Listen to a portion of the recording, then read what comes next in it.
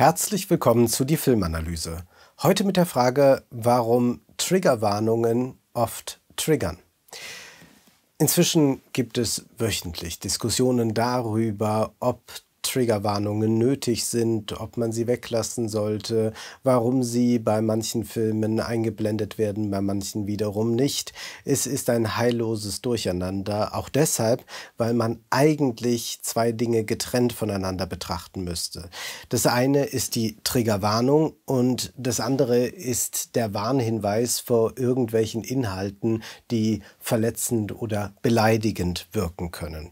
Aber diese Konfusion ist längst vollzogen. Diese Trennung ist gar nicht mehr möglich in dieser Weise. Zunächst einmal müssen wir festhalten, dass dieses Phänomen eines ist, dem man vielleicht mit einer gewissen Gelassenheit begegnen sollte. Aber es ist natürlich durchaus nachvollziehbar, warum sich Debatten daran entzünden und warum manche auch sehr wütend sind. Denn man hat ja doch eine nicht so gute Erfahrung, Erfahrung damit, wenn Institutionen dazu übergehen, irgendetwas zu klassifizieren. Denken wir an die freiwillige Selbstkontrolle der Filmwirtschaft, der FSK. Wenn also kategorisiert wird, welcher Film ab 12, ab 16, ab 18 freigegeben wird, dann ist das etwas, was man vielleicht unter dem Gesichtspunkt des Jugendschutzes als äh, gutes Mittel empfinden kann. Aber man muss auch sagen, diese Institution war lange Zeit eine Art Filmzensurgremium, das dafür gesorgt hat, dass äh, Filme aus den 70er Jahren dann in Deutschland bisweilen gar nicht erscheinen konnten, weil man glaubte, dieser Horrorfilm sei dem erwachsenen Publikum auch nicht zumutbar. Und so langsam werden ja diese Filme alle dann freigegeben. Und es gibt noch die deutsche Film- und Medienbewertung, die das Prädikat besonders wertvoll beispielsweise häufig vergibt. Und auch da sind die Kategorien nicht so ganz klar, denn dieses Prädikat kann eine 0815-Komödie ebenso erhalten wie ein Drama von Michael Haneke. Ärgerlich bei all dem ist vor allem diese Pseudo-Objektivität, mit der diese Institutionen auftreten. Und wenn nun Streaming-Anbieter, Filmkonzerne oder sonstige Institutionen dazu übergehen, einfach eine äh, Einblendung zu machen, einen Warnhinweis äh, zu geben, dann hat das auch etwas von einer Objektivität, die eigentlich gar nicht gewährleistet werden kann. In anderen Ländern gibt es natürlich vergleichbare Institutionen, die in der Regel alle nicht von Cineasten, sondern von Funktionären beherrscht werden. Seit einer Weile gibt es neben diesen Prädikaten und Kategorisierung auch noch Warnhinweise. Streamingdienste machen davon Gebrauch, aber auch Filmfestivals warnen mitunter vor Filmen oder auch Fernsehsender blenden neuerdings ein, diese Inhalte können verletzend sein, diese Inhalte spiegeln nicht mehr den heutigen Zeitgeist wider etc. Bislang ist das Kino noch relativ frei davon, äh, da hat man es zumindest äh, noch nicht so erlebt. Dabei geht jedoch vieles, wie gesagt, durcheinander. Eine Triggerwarnung wäre beispielsweise, dieser Film zeigt, zeigt explizite sexuelle Gewalt. Und Trigger, das meint Auslöser. Man möchte also Opfer von zum Beispiel sexueller Gewalt vor einer Retraumatisierung bewahren. Das soll aber gar nicht bei den Opfern in erster Linie auslösen, dass sie sagen, oh, dann sehe ich mir diesen Film lieber nicht an, sondern man soll die Opfer darauf vorbereiten, dass das zum Thema wird, sodass sie sich innerlich äh, darauf einlassen können und ihre Mechanismen in Gang setzen, äh, die sie benötigen, um äh, nicht wieder retraumatisiert zu werden. Die Traumatheorie gibt es seit über 100 Jahren in verschiedenen Ausprägungen. Schon Freud diagnostizierte Hysteriker leiden an Reminiszenzen, also an Erinnerungen. Der Sozialpsychologe Markus Brunner schreibt in einem Aufsatz, solche Maßnahmen zur Traumaprävention sind allerdings Grenzen gesetzt. Triggern können nämlich nicht nur explizite Gewaltdarstellungen, sondern schon äußerst subtile Wahrnehmungsmomente. Bestimmte Gesichtszüge, Gesten oder Stimmen können an die Täterinnen erinnern, spezifische Gerüche oder Geräusche an den Ort der Tat. Zuweilen kann nur ein durch Vorhänge produziertes Licht- und Schattenspiel oder das Parfum des Sitznachbarn Flashbacks auslösen. Kein auch noch so sensibel gestalteter öffentlicher Raum kann also Betroffene vor retraumatisierenden Situationen wirklich schützen. Und zum Glück haben wir Filme, die uns genau das veranschaulichen, denken wir an einen Film aus dem Jahr 1964, nämlich an Marnie von Alfred Hitchcock.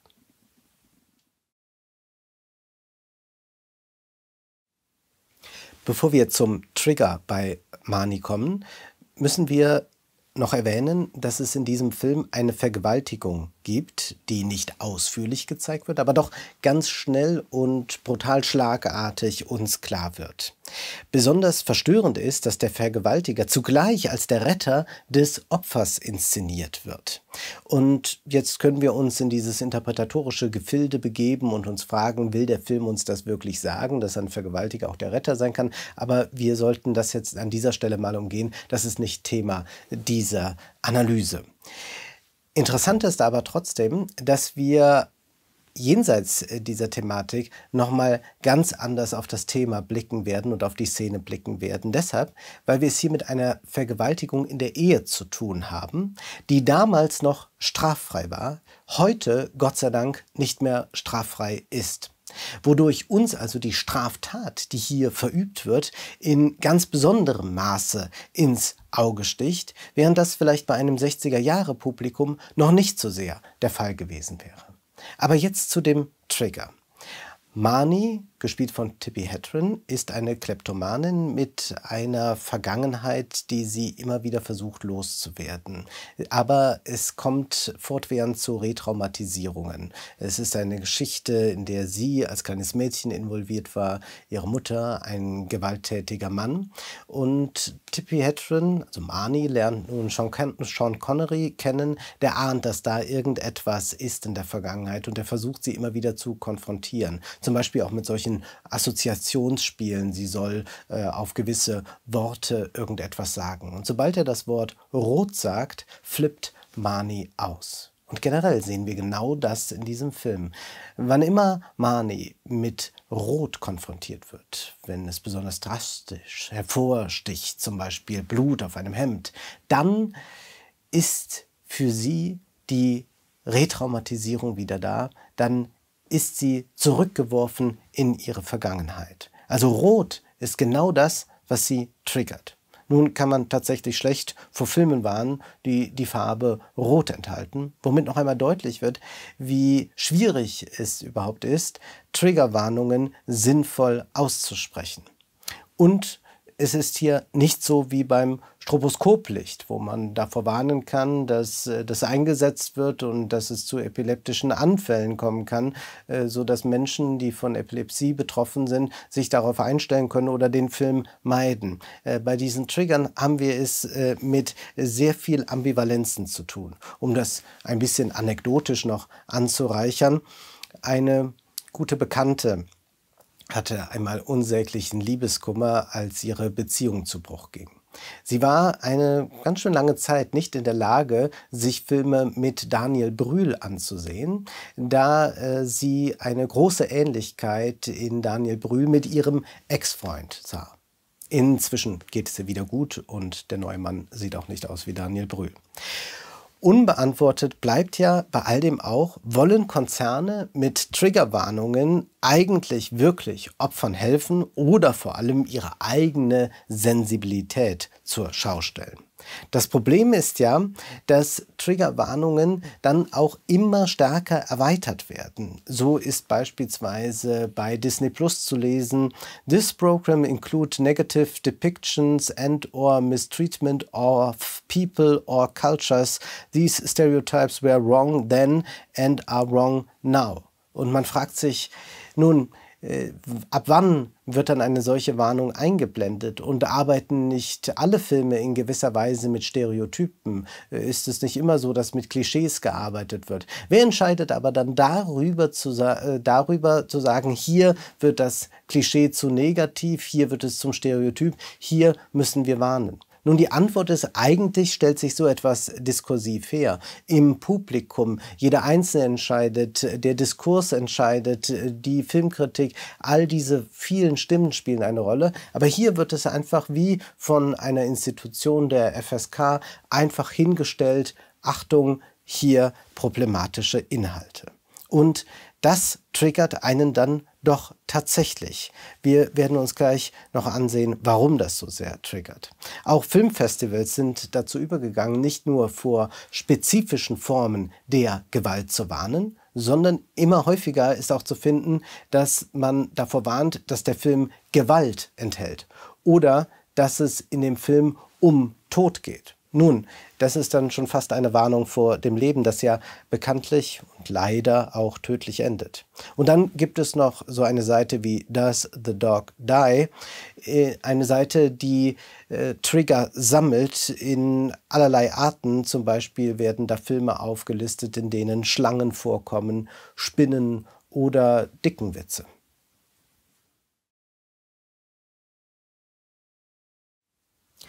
Hier wird der Begriff Trigger immer stärker erweitert, so dass wir uns dann auch anfangen können zu fragen, was triggert mich eigentlich? Äh, Logiklöcher in der Story, geistlose Dialoge, der übermäßige Einsatz von Wackelkameras, die Gesichter von Till Schweiger und Matthias Schweighöfer. Tatsächlich hat mir Matthias Schweighöfer fast Oppenheimer kaputt gemacht. Oder wenn Vin Diesel Family sagt. Dies alles ist natürlich dann an einem Punkt angelangt, wo es hirnrissig wird. Aber es gibt auch ein ganz grundsätzliches Problem bei diesen Warnungen. Wen warnt man eigentlich? Man warnt Menschen, die es nicht wissen können. Also zum Beispiel werden und vor allem werden Kinder vor etwas gewarnt, weil sie es noch nicht wissen.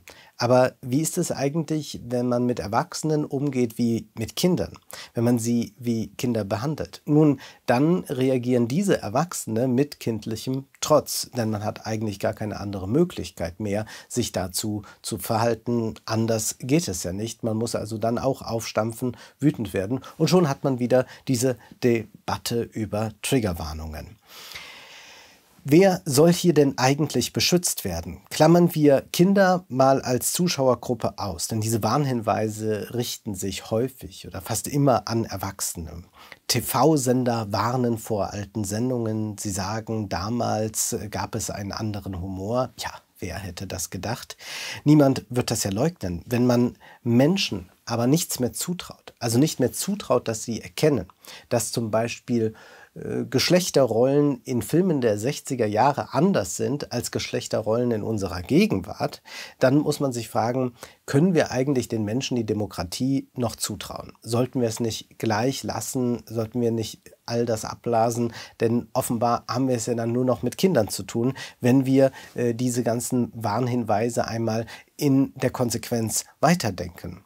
Aber Tatsächlich geht man ja immer mehr auch in diesen postdemokratischen Verhältnissen davon aus, dass Bürger eigentlich nur Konsumenten sind, äh, die man natschen kann, denen man irgendetwas gibt und das schlucken sie dann schon, äh, die alles so mitmachen. Und dann ist man doch äh, wiederum sehr gewillt zu glauben, dass das also eine große Agenda ist mit den Triggerwarnungen, dass wir jetzt auch noch die Bürger vor diesem und jenem schützen müssen, dass man überall eigentlich betreten verboten draufschreibt oder auf eigene Gefahr zumindest. Es ist interessant, dass ja die Härte der Wirklichkeit stetig zunimmt und äh, man aber bei kulturellen Produkten, die ja Spiegel der Gesellschaft sind, man sich hypersensibel gibt. Das führt auch dazu, dass man sehr glatte Filme möchte. Filme von größtmöglicher Klarheit, äh, statt Provokation und Schroffheit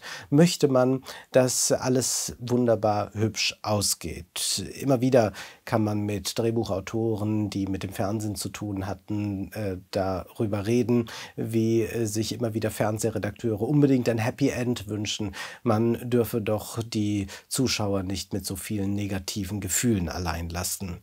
Es ist eine ganz interessante Zeit, in der wir leben. Wir haben diese extreme soziale Härte. Wir schotten uns ab gegen Flüchtlinge. Wir äh, erleben überall, wo äh, Menschen auf der Straße Flaschen sammeln, um irgendwie über die Runden zu kommen. Aber wenigstens unsere Filme, die bleiben hübsch, sauber, da bleibt alles munter. Der Film wird zum Safe Space, wo sonst alles immer unsicherer wird. Aber gehen wir noch mal einen Schritt zurück und schauen uns einen Film an, von 1967, den Gangsterfilm Bonnie und Clyde von Arthur Penn mit Warren Beatty und Faye Dunaway. Dieser Film wurde damals sehr stark dafür kritisiert, dass er explizit Gewalt zeigt und dies auch noch lustvoll inszeniert. Ja, tatsächlich, man sieht hier einen Film, der Lust am Exzess, am Mord, an Raub und Totschlag hat. Und wenn man sich diesen Film heute ansieht, dann ist diese Vitalität immer noch spürbar, wenngleich die Szenen, die uns gezeigt werden, nicht mehr in dieser Weise schockieren, da sind wir anderes gewöhnt. Aber Filmkritiker wie Pauline Kael oder Roger Ebert haben damals schon darauf hingewiesen, dass wir es hier mit einem großen Film zu tun haben und dass diese pädagogische Blickweise auf den Film doch eigentlich äh, den Film überhaupt nicht versteht und auch tatsächlich glaubt, dass äh, nur weil etwas im Film dargestellt wird, es dann äh, sofort in der Wirklichkeit auch realisiert wird. Wir haben es also mit einem Film zu tun, der mit dem Exzess spielt, aber der vielleicht in äh, einem Maße ungefährlich ist, wie wir es uns äh, kaum vorstellen können. Und vielleicht ist die Brutalität wo ganz anders zu finden. Es gibt eine Szene, da herrscht Clyde Bonnie an, sie soll ihre Haarklammer ablegen. I don't like it. Und dies hat eine ungeheure Drastik, Brutalität, vielleicht viel mehr als die Mordszenen, die wir sonst in dem Film zu sehen bekommen.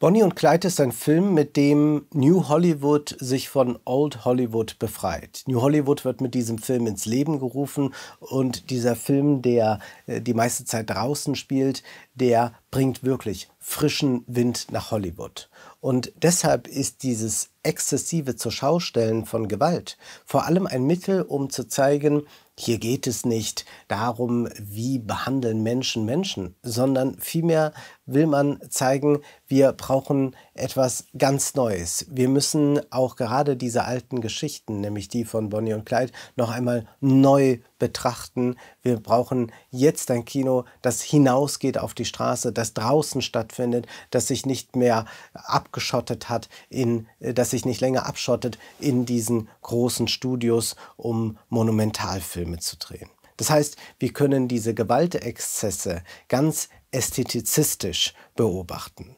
Und überhaupt stellt sich ja die Frage, wann ist denn etwas besonders brutal und verstörend? Dann, wenn es sehr explizit ist, wie beispielsweise die Vergewaltigungsszene in Gaspar Noés Irreversibel, die tatsächlich an Drastik kaum zu überbieten ist. Aber vielleicht ist es noch schlimmer, wenn wir eine Stilisierung erleben, wie sie Giselle Vienne vornimmt in Jerk. Da geht es um Missbrauch, aber wir bekommen diesen nicht zu sehen, sondern er wird nur stilisiert ausgeführt mit Handpuppen. Ein eigentlich verstörenderer Film als irreversibel. Und wovor soll man eigentlich alles warnen? Man warnt vor Sexismus, Antisemitismus, Homophobie, Lokismus. Dann fragt man sich auch noch irgendwann, äh, sollten auch noch religiöse Menschen vor gewissen Inhalten gewarnt werden. Auch das wird ja mitunter gefordert. Konservative fühlen sich aber dann getriggert von homosexuellen Darstellungen oder Rechte können sich getriggert fühlen von linken Ideen oder feministischen Frauen. Es ufert alles ins Beliebige aus und man bekommt eigentlich dadurch eine neue Kultur der Zensur.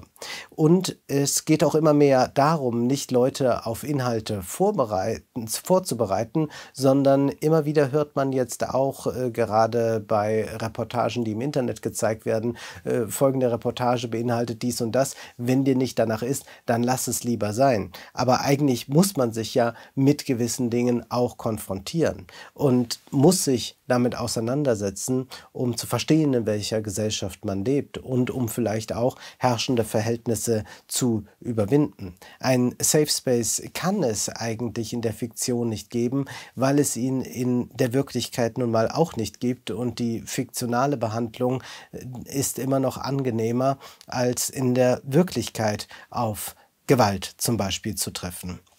Man kann sicherlich einwenden, dass wir es mit einem zivilisatorischen Prozess zu tun haben. Wir sind sensibler geworden. Aber ist das wirklich der Fall? Wenn wir uns hier in dieser Weise immunisieren vor der Gewalt, indem wir uns äh, sie äh, gar nicht mehr stellen, ihr, uns ihr gar nicht mehr stellen, indem wir versuchen, sie fernzuhalten, dann erleben wir vielleicht keine Sensibilisierung, sondern tatsächlich erleben wir eher, dass wir uns äh, davon losmachen wollen, dass wir es ausblenden. Und dieses Ausblenden ist wiederum keine Form der Sensibilisierung. Nun ist es ja so, dass viele so besonders empört auf Triggerwarnungen reagieren, weil sie durch diese Triggerwarnungen Filme als politisiert erleben, sie aber davon ausgehen, dass Filme eigentlich unpolitisch sind. Das ist natürlich Unsinn.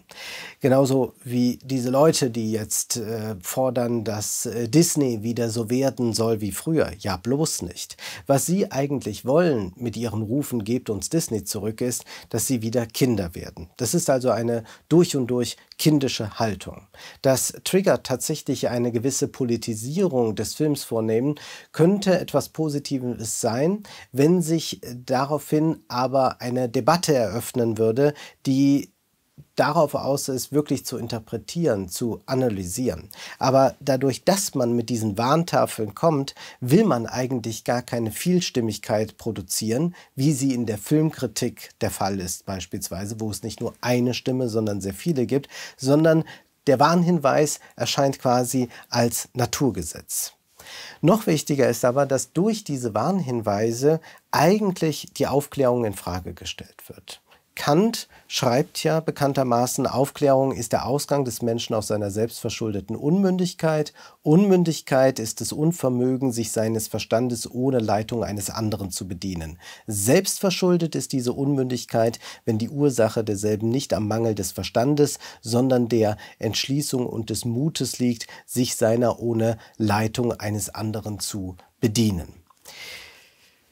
Diese Mündigkeit, die Kant einfordert, die findet aber nicht statt, sobald man Warnhinweise einblendet, weil man eigentlich damit, mit dieser paternalistischen Geste, äh, den Zuschauer entmündigt, ihm das gar nicht mehr selbst zutraut, zu sehen, dass da beispielsweise rassistische Stereotype bedient werden, sondern man legt es ihm schon an die Hand. Man äh, sagt ihm, so ist das und nun kannst du, wenn du willst, trotzdem dir noch den Film ansehen.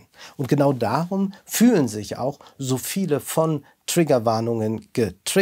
Und zwar zu Recht. Sie werden für unmündig erklärt. Es ist eine paternalistische Geste. Wir sagen dir, was du über den Film denken sollst. Aber auch Intellektuelle und Journalisten, es sind ja nicht nur die Filmstudios und die Streaming-Anbieter, sind Fans solcher Warnhinweise.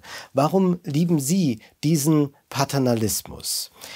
Adorno hat sich immer wieder im Radio mit der Erziehung auseinandergesetzt, mit der Erziehung zur Mündigkeit. Und in einem Gespräch, da sagt er, es will mir dünken, als ob den meisten Menschen die Identifikationen mit dem Über-Ich, die sie vollziehen und von denen sie dann nicht loskommen, immer zugleich auch misslungene wären.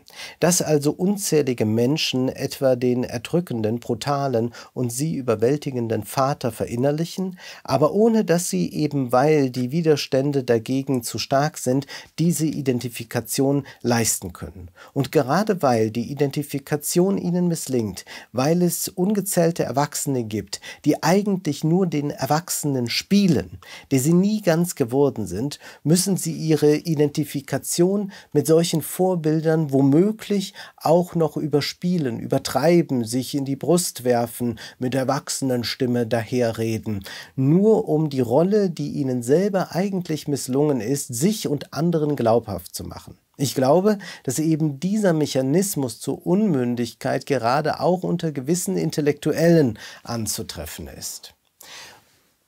Adorno beschreibt hier also, dass wir es mit Erwachsenen zu tun haben, die nur Erwachsene spielen. Und um dies zu übertünchen, gehen sie dazu über, besonders erwachsen aufzutreten. Und ist das nicht exakt auch die Geste jener, die Triggerwarnungen und Warnhinweise äh, fordern, dass sie so tun, als seien sie die wirklich Erwachsenen, die jetzt den anderen Erwachsenen sagen können, was gut und was schlecht ist und wovor sie gewarnt werden müssen, weil sie vielleicht noch nicht so weit sind. Diese Geste ist eine, die wir immer wieder antreffen und die Adorno hier wunderbar auf den Punkt gebracht hat. Kant schreibt ja, dass wir nicht in einem aufgeklärten Zeitalter leben, aber in einem Zeitalter der Aufklärung. Und damit meint er, dass Aufklärung ein Prozess ist, dass man sich beispielsweise mit Filmen auseinandersetzen muss, verschiedene Stimmen dazu hören muss, sich austauschen kann. Adorno schlägt genau in diesem Gespräch vor, man äh, könnte mit Schülern ins Kino gehen, in kommerzielle Filme und äh, darüber reflektieren. Und eigentlich müsste es darum gehen, dass äh, dann so ein Prozess des Madigmachens dabei herauskommt, dass man also erkennt, welche Illusionen diese Filme einem vorspielen.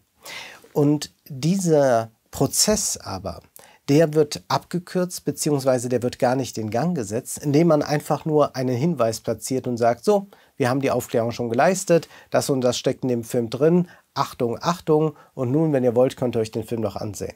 Also die wahre Auseinandersetzung, die findet nicht statt, die wird vorweggenommen und damit ist aber auch schon wieder das Denken abgeschlossen. Was die Traumatisierten angeht, die vor dem einen oder anderen geschützt werden sollen, was aber schwierig ist, müsste man erst einmal fordern, dass sie beispielsweise mehr Möglichkeiten haben zur Therapie. Aufgeklärte Menschen benötigen jedenfalls keine Warnhinweise, so viel können wir festhalten. Menschen, die den Prozess der Aufklärung mitgehen wollen, die sind fähig, nicht nur zu schauen, sondern zu sehen.